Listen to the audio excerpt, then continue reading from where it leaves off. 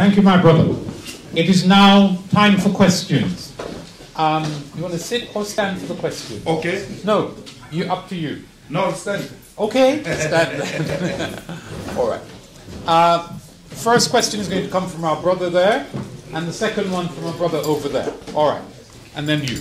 All right, those three. Yes. Okay, I wanted to ask uh, about the the Commonwealth, Commonwealth of Nations as we call it. Uh, it would seem to me now that it, it, it's no longer, it has no benefits as it used to. For instance, we used to have open borders between South Africa and the UK and all of those other things, trade and so on. All of that has shifted. Our, our biggest trade partners are not necessarily the United Kingdom anymore. Our borders are no longer as open as they used to be. What do you think is the nece- is this still a necessity of the Commonwealth, or is it just a, a commemoration of what was the old order?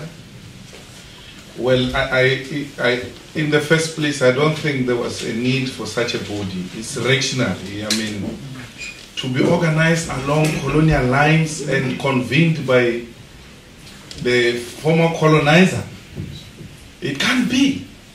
If we want to relate as comrades, as people who fought against colonialists, let's find our own way of interacting because we almost share similar experiences because we're under the same colonialist, but not convinced by the same colonizer. They, they still treat us like subjects. I mean, we come here, we have to apply for visas here. And then they come for breakfast there in South Africa and come back uh, in the afternoon. They come in the morning and then and then come back in the afternoon. We can't do the same. Why? Because we are not equal in their eyes. We are the subject, they are the colonial masters. We are the slaves, they are the slave masters. So it doesn't work, it's not working, and I think that the African leadership should decide.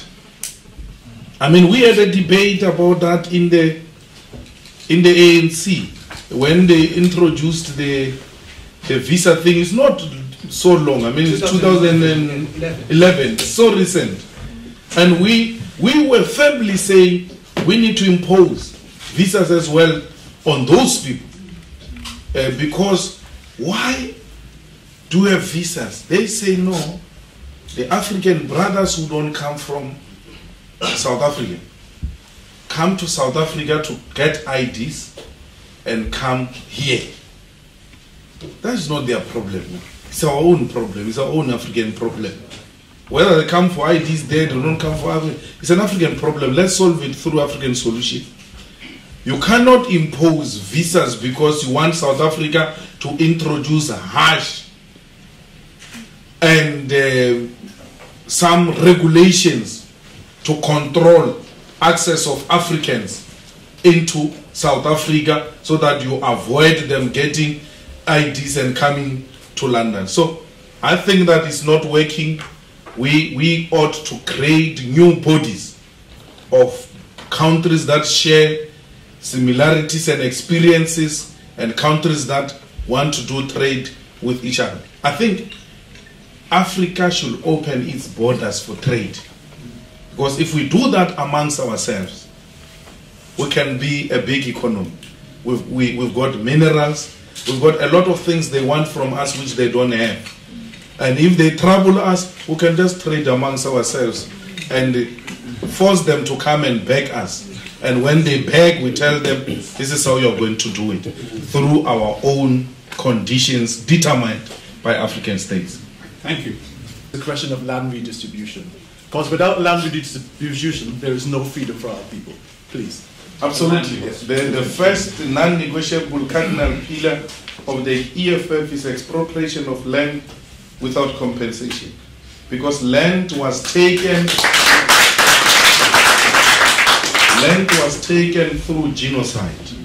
And therefore compensating land is equal to compensating genocide. So you cannot pay people for committing crime.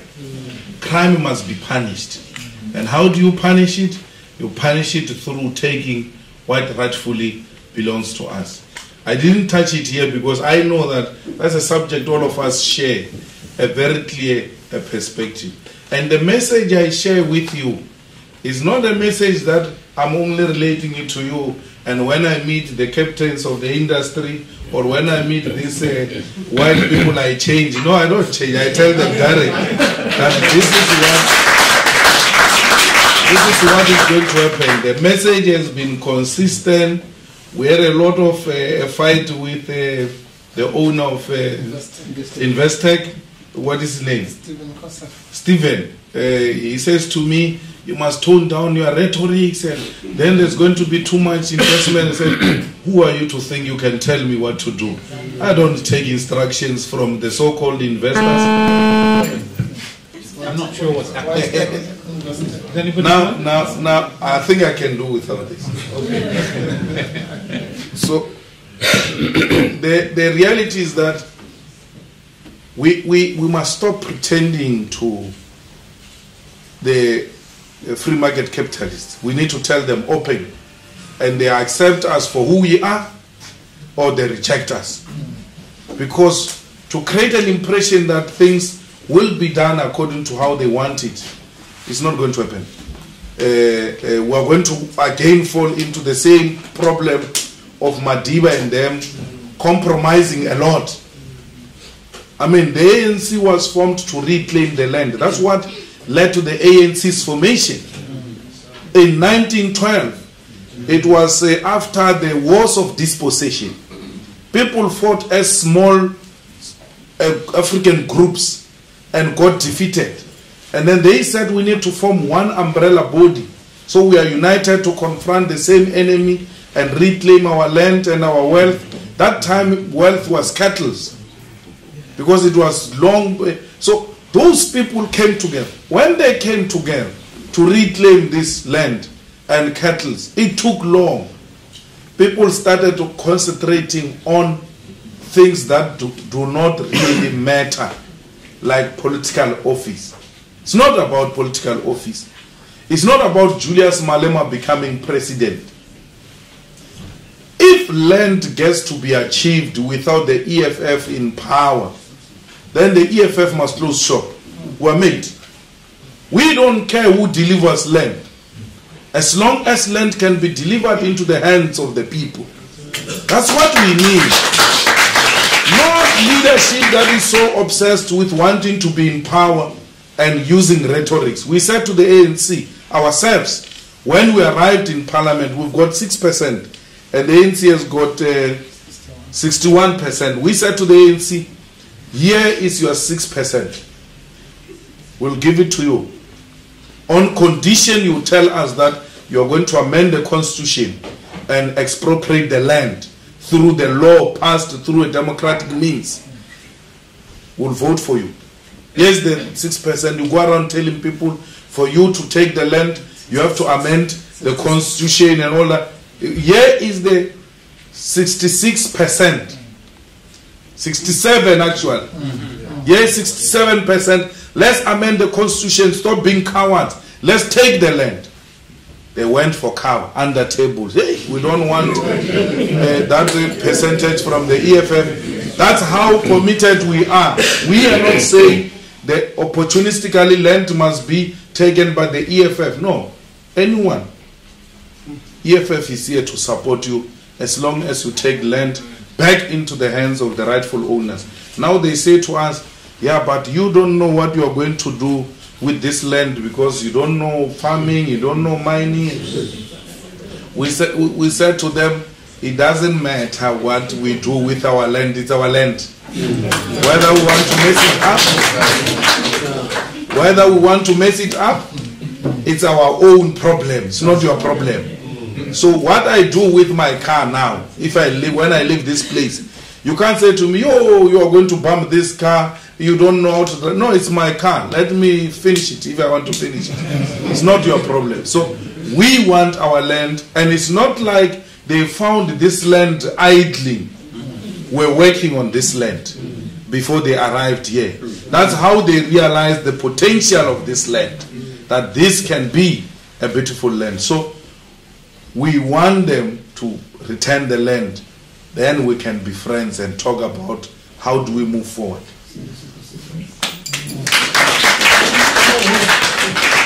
I must say, I must say, um, I, I, was a skeptic naturally, but uh, I must congratulate you for firstly not capitulating because I thought you're coming to the UK and you probably want to appease uh, the investors and, and that, that, kind of business. But um, I, I, guess I'm a practicalist, so I just yeah. really need to find out in, in terms of the legislative framework and things that we need to do at a practical level to achieve uh, this transformation and how do we prepare our people at a practical level for the backlash. I mean, we have Zimbabwe as, as, as a clear example.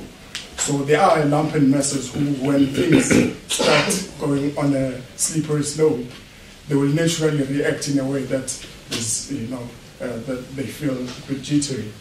So I guess at a practical level, I just need you to table out those kind of uh, methods. How do we take over industry, uh, the upskilling of our people, those kind of things? Uh, that's my question. Thank you. No, no. Uh, you know, pain, uh, change is painful, and uh, so South Africans will have to be prepared to go through the necessary pain. You know, um, I don't know labor pains, but women will tell you that they are extremely painful.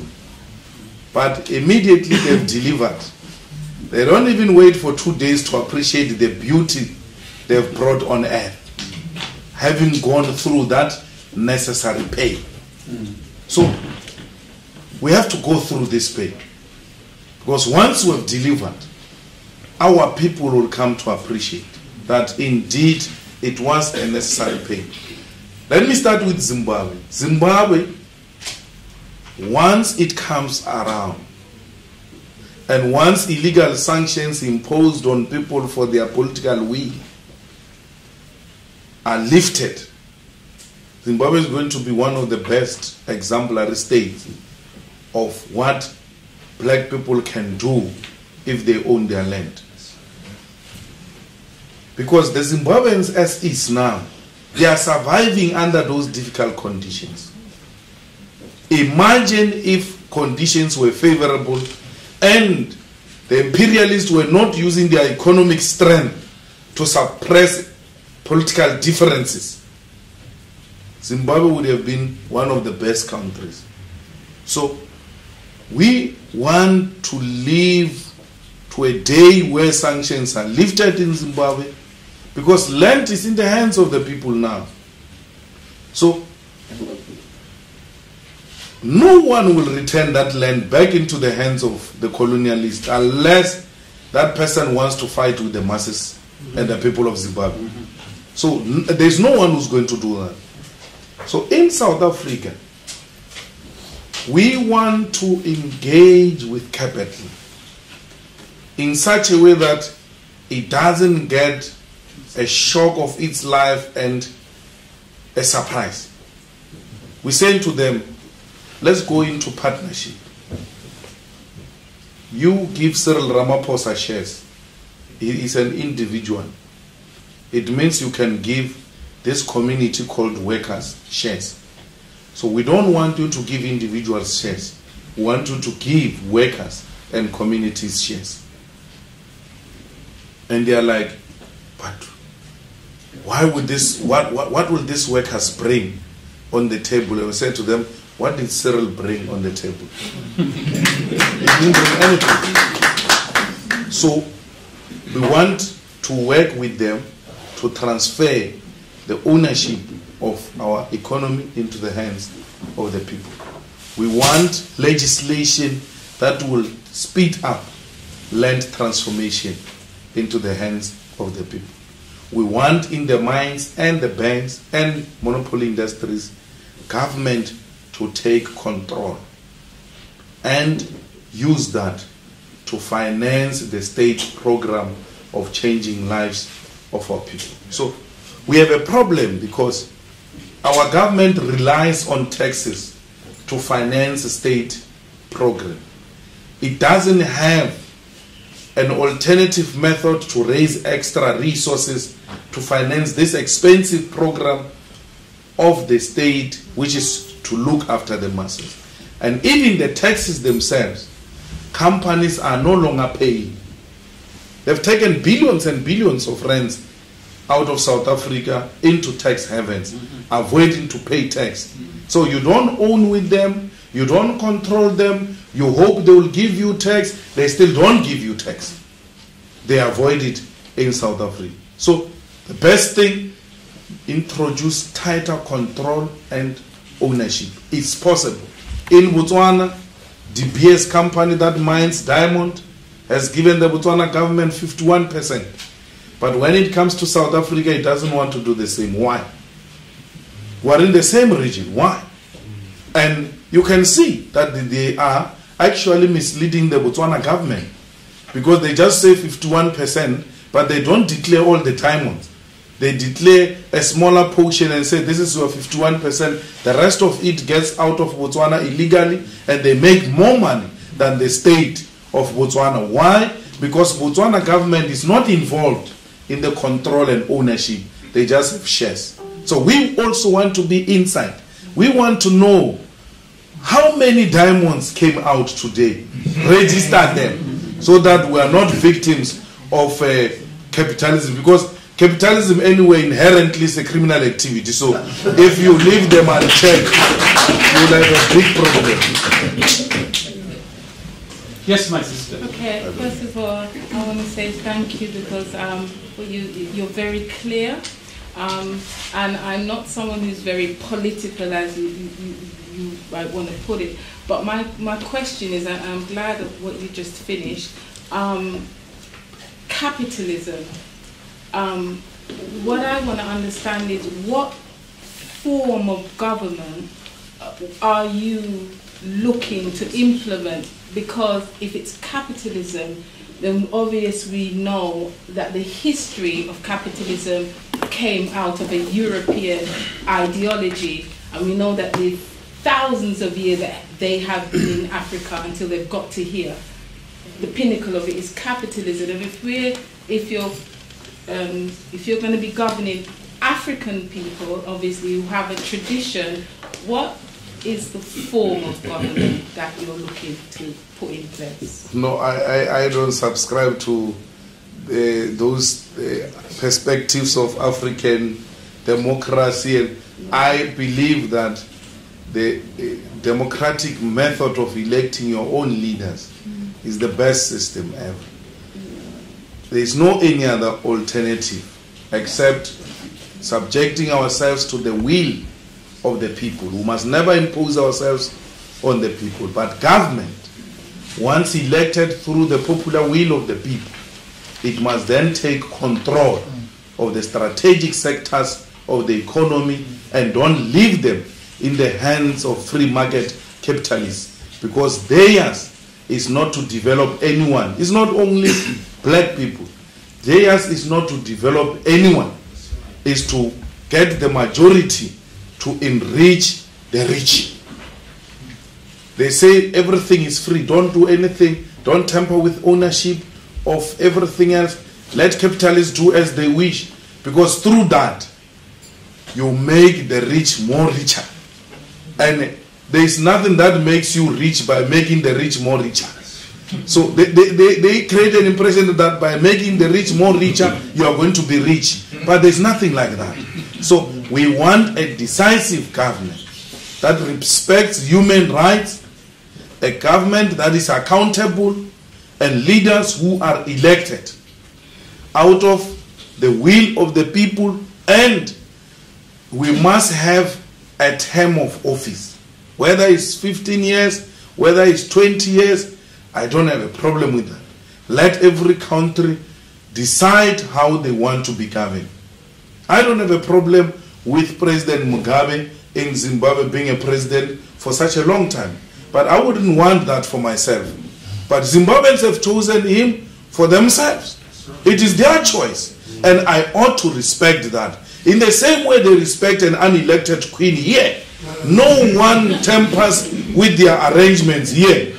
And therefore, they must not tamper with anyone's arrangement. In South Africa, one president for two terms, I'm happy. In Britain, they've got a prime minister and the queen is their own arrangement, they are happy. In Zimbabwe, they've got President Mugabe like that, they are happy. Who am I? I can't go around imposing myself on the people. The will of the people should at all times prevail. No one should use military to impose himself or herself on the people. No one should use state institutions to intimidate those who've got a different view. I think it is possible the world can be a better place if leaders respect the wishes and the will of the people. I mean, uh, one of my best heroes is Fidel Castro. He has been in power for a long time, and I've had an opportunity to meet him, and I still admire him and his courage. Uh, uh, but it doesn't make me want to stay in power forever. These positions are not nice. Uh, to work for people is the most stressful thing. I never get to see my son. Every time I see him, he has changed completely. but he must know that we have a duty to serve the nation. And if I can make a contribution and they say to me, that's it, stand aside, let this one take over and continue with the revolution, I'm happy. Remember, time is short, so ask your question Yeah, nice sure. and sharp. Don't make speeches. Your time.